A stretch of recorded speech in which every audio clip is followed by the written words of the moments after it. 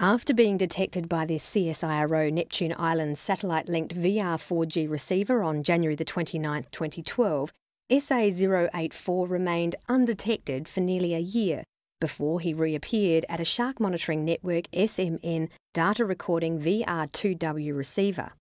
He was in water 70 metres deep, 5 kilometres off Bald Island at just after midnight on December the 19th, 2012.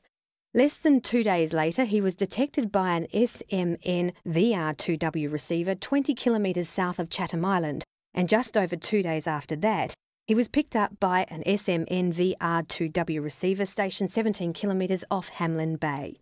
Assuming straight line travel between these receivers, his minimum average speed was 4 kilometres per hour, although he travelled slightly more quickly between Bald and Chatham Islands at 4.4 kilometres per hour then between Chatham Island and Hamelin Bay, 3.7 kilometres per hour.